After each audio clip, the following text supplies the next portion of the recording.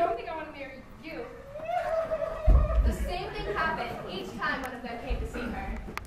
You are the most beautiful woman I have ever seen. Will you marry me? No, I don't think I want to marry you.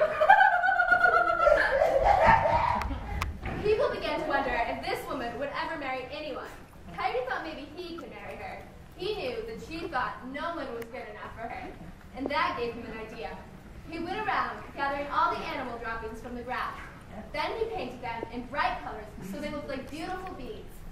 He made a set of clothes from them. They covered him completely and hid his fur. With all these beautiful beads, I look like a rich young man. She'll never know I'm really Coyote. You're the most beautiful woman I've ever seen. Will you marry me? You're the richest man I've ever seen. Yes, I'll marry you. So Coyote married her.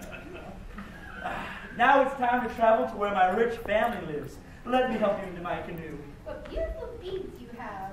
So she went off with Coyote's in canoe. Soon it started to rain on them, and Coyote's beads began to melt. Uh-huh.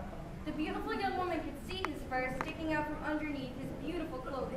And the more the beads melted, the worse he smelled. She knew she had been tricked, and that this rich young man was really Coyote. She knew she had to find a way to escape.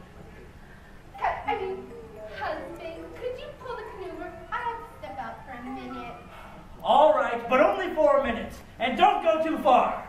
Don't worry, I'll be right back.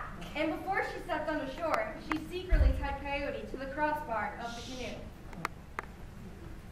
I'll be right back, honey. She walked just far enough away from the water that Coyote couldn't see her. And then she found a birch tree. Stand over to Olivia, over by the tiki more. Yeah, yeah, thank you. She took a piece of fungus from it and taught it to answer.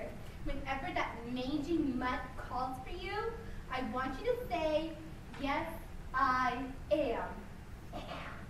Yes, I am. And then she began to run away, back to her own people. Soon Coyote began to worry. Are you still there?